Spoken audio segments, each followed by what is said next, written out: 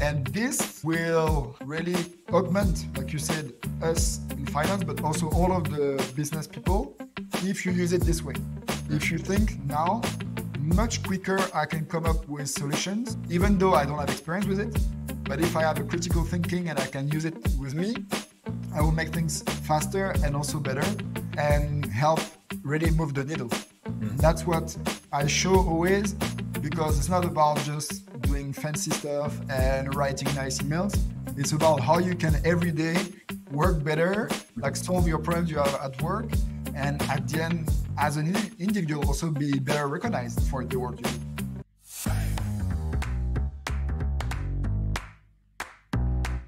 Hello, and welcome to Tech for Finance, where we help finance professionals leverage technology to level up their lives. I'm your host, Adam Shilton, and in this episode, we're speaking again with Nicolas Boucher, who's a previous podcast guest that returns to speak about AI.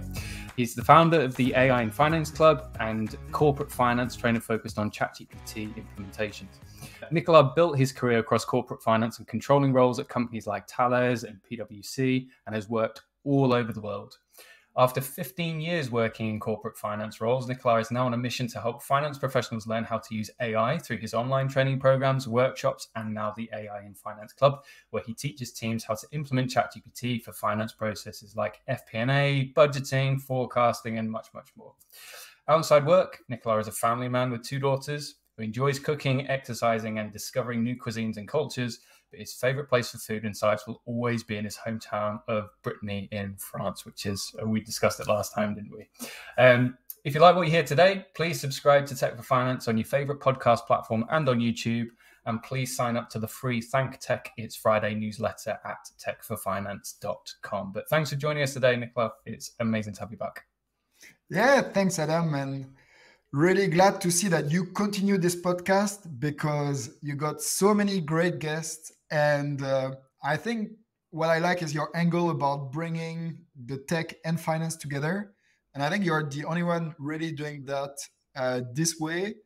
And if we think also about what you do on top of the podcast by bringing your own deep dives to the public and that everybody can learn so much from you, you are doing a really good job. Uh, that really means a lot, actually, because I mean, how, how, many followers you got now? Like seven hundred and fifty thousand or something like that. So, no, you've you've always been a role model. So it's it's great to have you on the on the podcast again. And thanks thanks for coming back. So we've got a lot to talk about. Um, I'm excited to to get stuck in, but there's been a bit of change with you recently, right? Because you've decided, right? Well, I'm, you know, I'm going to make my own stamp on the world, right? You know, I'm, I'm going to do my own thing, um, which is great. So, you focused on AI, which of course is really hot even a year in. So I'm wondering whether you can just start off by giving us your impression of how AI and what you've seen from a finance perspective has changed since ChatGPT was released last November. And it's because it's over a year on now, isn't it? So, how have you seen things change, and how have you seen sort of finance get to terms with with so much change in the past year? Yeah, so what I've seen over the last 12 months, because every day I'm talking to people who are either beginners or advanced, and the adoption curve where people, um, I think one year ago, I think we were like you and me and maybe like two or three other guys. we were maybe a group of 50, 100 people in the world who used uh, ChatGPT and already thought, how can we use it for finance? Mm-hmm. And now I'm sure in every company, there will be this guy or this girl who loves tech and who is already an advanced user in ChatGPT and has already use cases in finance. And so the adoption curve for this, if we compare to Excel, Pivot, Python, Power BI, it's so fast because in companies normally it takes five years to adopt new tools. And now I even see a lot of CFOs who understood that they can use it uh, themselves because they use it to, I would say, the easy way to write emails or to make some research. But they get their team who are more tech savvy and they want them to use it and to see what is possible to do with ChatGPT and AI. And just to echo your point there, there is, in my experience as well, still quite a big gap between the people that haven't really used AI before, and as you say, you know, they've used it to draft an email and then, you know, maybe not spent any more time on it, compared to the ones that have got really stuck into it, right? And um, I found because I did the guide, right? It's, it's out of date now, so I paused for a second because I don't want to sell something that's that's out of date with with the guide. Um, but I had a chat to, to one of the customers from, from the guide because I offered um, three three um, 30 minutes consulting just to help them put the the um, ideas in the guide into, into practice. And I remember getting on with with this guy, um, and immediately he was asking me questions, and I was like, "Hang on a sec, I'm really going to have to think about this because." so so he he was in that category of he'd been on it, like he'd been like spending lots and lots of time on it, but it keeps us on our toes, right? So, I mean, we can we can start by and, and I posted about it um, today actually or yesterday in terms of low hanging fruit with with ChatGPT and you mentioned a couple there. So you've got you know drafting emails and, and now ChatGPT is connected to the internet, or at least the pro version is. You can use it for better research with more up to date data. So when you're coaching and guiding people, where do you recommend they start? Because there's a big difference between just using it as a as a text assistant to help generate content versus what I'm sure we'll get into in terms of generating code for Python that you can then take and, and use in other ways for, for forecasting and various stuff. So where, where do you tend to start? Yeah, so what was interesting is the first uh, cohort I did in April. Mm-hmm. So AI was really not yet, uh, the adoption was quite uh, small. Almost everybody was amazed about what it can do I could just show, oh, look, it can draft an email. People were like, wow. Then, like the court after, uh, I think that was six weeks after in June, just that didn't impress people anymore. And I was like, okay, it was already like in two months, people learn how, that writing is not uh, impressive anymore.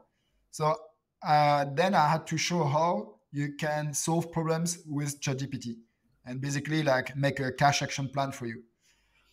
Then really quickly people got that okay you can do non-finance stuff with ChatGPT, but they don't really care about this because they have heard and seen that everywhere. What mm-hmm. they wanted to hear from us is how you can deal with finance topics like financial analysis, working with Excel. And this was really a problem uh, before ChatGPT 4 because ChatGPT was really bad at doing formulas, mm-hmm. really bad at calculating. And so I had to find uh, frameworks to make ChatGPT calculate better, and I showed that to uh, my um, my students. But then when ChatGPT 4 came, and I think it was in, uh, in August, September, something like this, the fact that you could upload an Excel file, the fact that you could then generate Excel file, and then that you could do graphs with Python I can still remember when I uploaded a fake headcount file and I just said, just make the headcount analysis. And it dropped like four or five visuals that even myself, I would not have thought about, like salary distribution by department using a box plot. I was, wow, this is like, now we're talking. Mm-hmm. and now like uh, it's going to help us a lot. And I show that now to everywhere I go to the webinar, I still show the same example and people are blown out because it's concrete. You see visualization, you see on a big file what it can do, and it's quite fast. And it does something better than what people can do if they are they don't have this expertise. Hmm. And that's the big change. And now people are asking me, and that's what I'm teaching them. How can they do that without the confidentiality issue? Because that's always the, the question.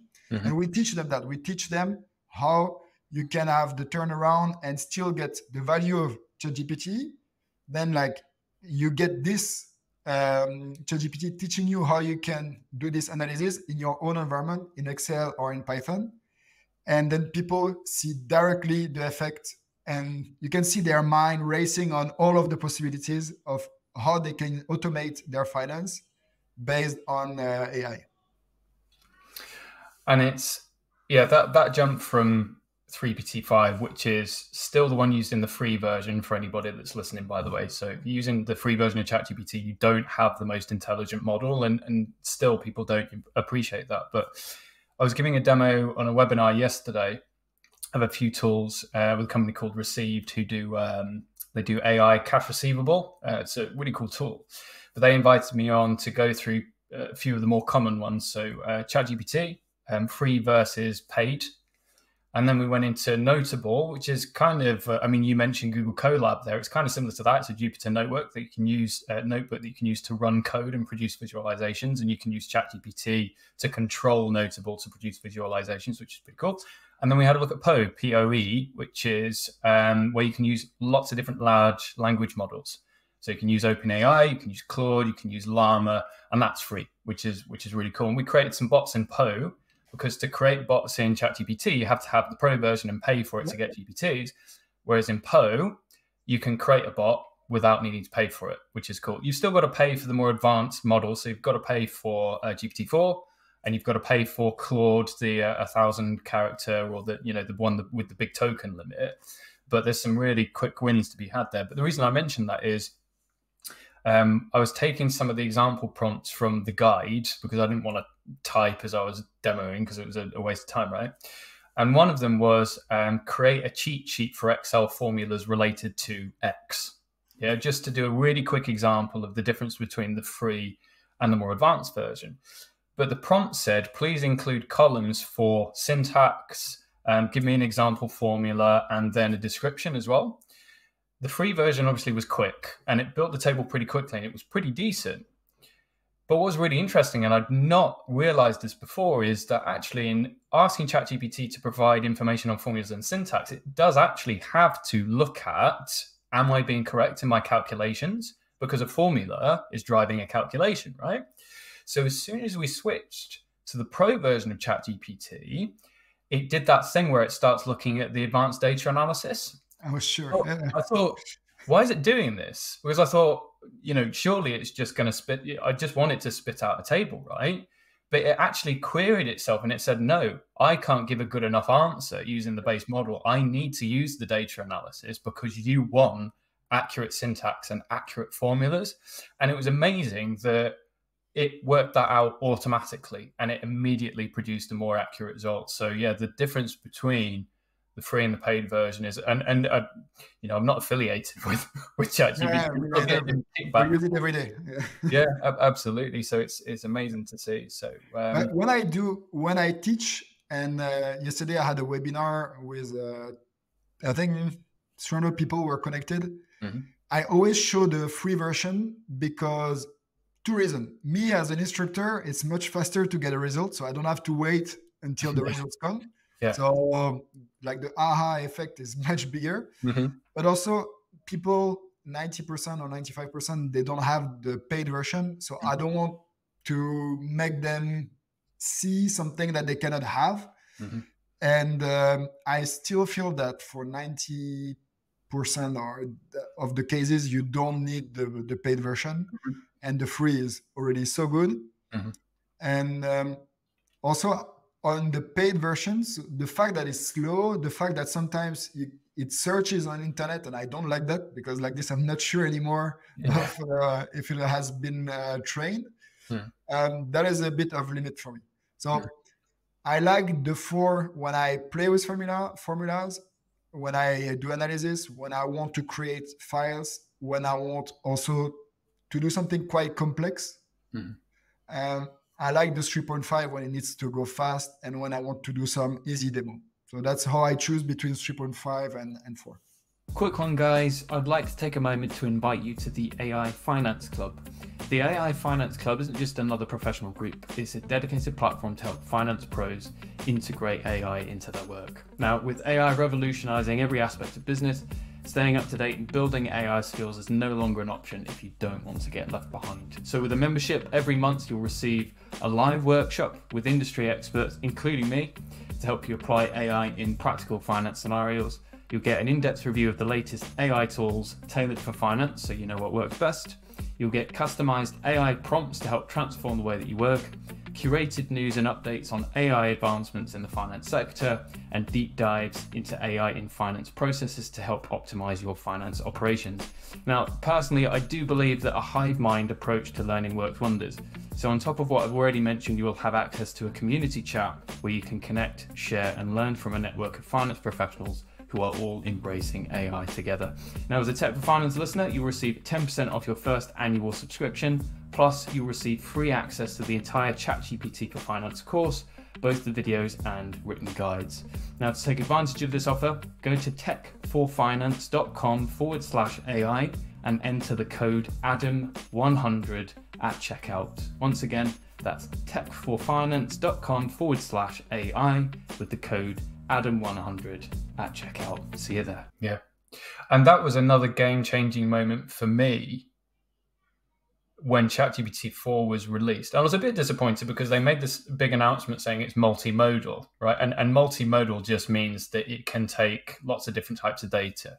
And I was really interested because they released it, you know, when they drew the um, the website yes, yes, on the yes. napkin and they took a picture and ChatGPT did it. When they first released ChatGPT 4, the image recognition wasn't there. And I was really annoyed because I'm like, you promised me images and I've not got images.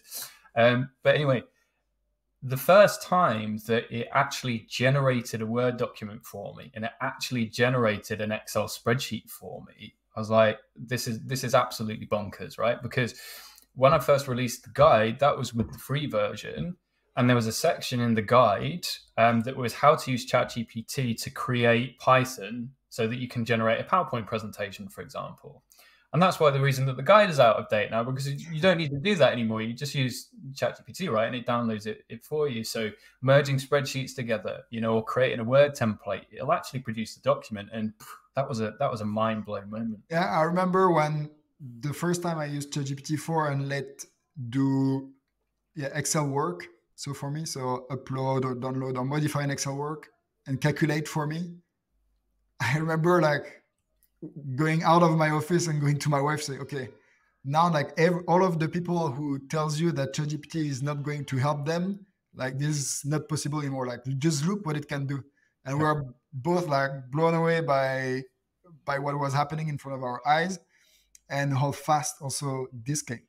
Right. And now it's maybe for finance maybe not that relevant mm-hmm. but have you seen this um, this new concept of not thinking about data text uh, code but more how to observe the word to so not llm anymore because llm is basically like just bits of data mm-hmm. that are uh, analyzed uh, based on text but more uh, watching how the word is really is so how it is and um, so I think it's general word model, the the new concept, and Midjourney came out with this.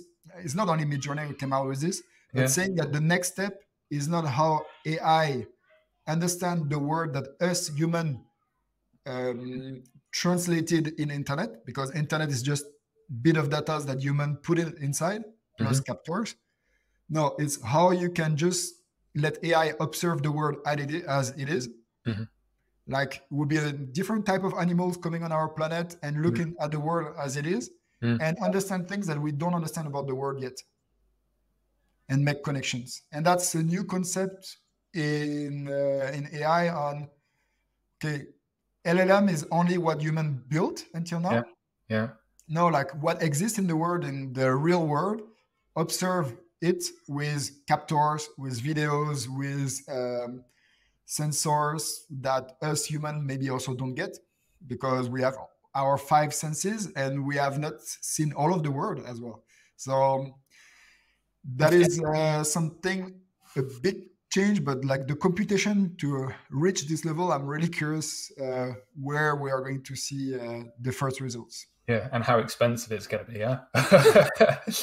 and, and we can talk about Copilot in a bit because uh, there's still a, a really big unknown about how much that's going to cost for a like for a normal person, right? That isn't on a like massive business enterprise plan. But but maybe we come back to that. But to come back to your point there, I remember when they were first testing some of these models, irrespective of whether it was ChatGPT, is they try and do a test to say um, in your response, try and end every sentence with the word apple. Yeah, that's a test. Yeah. Yeah, absolutely. And and as you say there, because the large language model doesn't see words as words, it just sees them as characters or tokens or um, whatever else it's called. Yeah, tokens. Yeah, yeah, yeah. yeah. Um, it just come back wrong. GPT four is better, right? But still not perfect. It still doesn't do it every every time, right? So it's interesting what you're saying there. If it does actually understand the concept of a word and, and how they're arranged. But coming back to a point that you mentioned previously there about when you were generate uh, generating visualizations, um, and and what you said there was it produced results that I hadn't thought about myself before. Yep. And I want to come back to that because I think it's a really important point because it's like speaking to a human that is maybe more experienced to you, right? So, so when I speak to you, I learn something new every time. You know, you say something, and it's never occurred to me before to think about something in a specific way. I think having an AI that can help you think critically in a different way is going to be even more important moving forwards because then you can have the benefit of your own experience and the years that you've spent doing your job or whatever you do. But then you've got an AI that's augmenting you and encouraging you to think critically. And I think what I'm going to do, um, and I'm going to try it with a GPT to see whether I can I can do something that actually works. But I think there's a big business case for bringing critical thinking concepts into your prompting. So I remember when I was experimenting with Poe for free chatbots. Um, it was a like a finance formula bot. So the base instruction I gave was something like, you know, act as a master of Excel. Whenever you're given a, a report to produce, please produce relevant formulas and VBA code. But then I also built onto into the prompt um, something like you know bring a new perspective or challenge assumptions mm-hmm. or you know provide extra guidance i.e something that i've not learned about before and the quality of the response was immediately better because not only was it giving the output that I'd requested, but it was then also finishing the response by saying, Have you thought about it in this way? Or have you thought about this? Have you thought about that? So I think there's huge potential for us having it as a critical thinking assistant as well as just an AI to help us produce a certain output. Yeah, there is this. Um, like there was this uh, trial of people letting their company run by AI. Uh, but that's, I mean, it's it's a good test. Uh, like, would AI make the same decision? Mm. And what I always say is that the the chatbot in front of you or the model in front of you, they only they have a database, but they don't know the context that you have. Mm-hmm. And basically, it's like I picture it as hiring a group of experts mm. that have read 10,000 books on project management, mm. 10,000 books on cash, 10,000 books on inventory, on whatever is your problem. Let's imagine is cash management. Well, if you had like few problems in your life with cash because until now your company was really fine with generating enough cash and this year well uh, there was huge problem with cash you don't know where to start mm. even if you have 15 years experience or 20 years well now you can get with ChatGPT you can get a group of experts who can help you build an action plan, but mm-hmm. also come with concrete actions that you can discuss with other teams.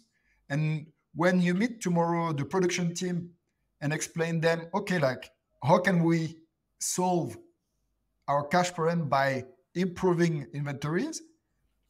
It's not like you have to ask them how to do it. No, you can already come prepared because you asked your team that is experienced with inventories and uh, knows what type of solutions are low hanging fruit to have quickly cash from your inventories or quickly stop spending cash on it mm-hmm. without breaking the supply chain and disrupting it. And this will really augment, like you said, us in finance, but also all of the business people if you use it this way. Mm-hmm. If you think now much quicker I can come up with solutions, even though I don't have experience with it. But if I have a critical thinking and I can use it with me, I will make things faster and also better and help really move the needle. Mm. And that's what I show always because it's not about just doing fancy stuff and writing nice emails. It's about how you can every day work better, like solve your problems you have at work, and at the end, as an individual, also be better recognized for the work you do. And thinking about that, then, so the advantage that you have using these tools is you've got 15 years of experience in finance, right? Yeah. So if an AI produces a set of results that says this is what you can do, or these are my recommendations, you've got the knowledge to be able to pick and choose, right? That's useful. I'm going to ignore that. What do you think? And again, you know, nobody really knows, but obviously we have junior staff members and and actually it was a it was a comment on a post that I did when I went to a Microsoft conference a couple of weeks ago, which which I mm. told you about. Um, you, you got the slides, didn't you? And that was all around Copilot. And I did a post about it, and somebody commented on the post saying something like, um, "Is this creating more problems than it solves by having inexperienced people?" use an AI without knowing how it's generated its responses because we can tell that's a good result and that's a bad result. But in the future, if you've got junior people, they will put more trust in the AI because it's part of their daily workflow. They might not have the experience to tell what's right and what's what's useful and not. Do you have any thoughts around that about how we can make sure that people well, aren't just trusting the AI point blank and just accepting everything that it, it gives to you? Yeah, so I think we are all learning as well not to take anything uh, blindly and um, yeah, like don't do the mistake of just copy and paste without owning it, uh, because you can never go back to your boss and say it's not me, it's uh, it's a Bard ChatGPT. You will be fired, and or your boss will not want to work with you, and they will say, okay, I can work directly with the with the bot if you are no no value. No, like mm. that's the first thing, and also if you have a team like if I am a manager and I have somebody working for me producing the work, I, and I give that to the CFO, and the CFO say, "What is this like? Like it doesn't make sense." I cannot just blame my team. Mm. I have to own my mistake because I am the manager. So I see it this way, but I also always uh, see the the glass half uh, full. Mm-hmm. And imagine before when there was no possibility to fly, mm. or even to was really just for the rich. So maybe like uh, our parents or our grandparents, they could never travel when they were 20s, mm-hmm. in their 20s. Now, like you and me, I guess I was in Asia when I was uh, in my 20s. Mm. And there, like I did some good experience, but also some bad experiences. Like you eat food, you you have like you lose maybe like your wallet, and then you are like, oh, why did I do that? Why did I take this decision? and you learn from that, from this. Like now, if I go to Asia, I'm so comfortable because I've been there so many times. Mm. I, I talk to everybody. I feel really good. And why? Because I've been there. I failed. I tried a lot. And now I'm experienced about it. And so I think it will just be an accelerator of failures, but also to see what works, what doesn't work. And I really think that uh, if somebody who is young and start his work the problem will not be ChatGPT or AI making him do mistakes. The mm. problem is who is there as human mm. to drive them. Mm. And now, like with everybody working remote, like you don't have like uh, a team of five people working in the same room, and oh, where like if you have a question, you can just uh, come by your your boss or your senior and just ask, hey, like how do I do that? Like it's really frustrating for young people I, like I will never want to be in their shoes to start a job and you have to work like five days or four days a, a week at home mm. and you have nobody to help you. Mm. So that's for me, it's there the risk and not uh, AI. Mm.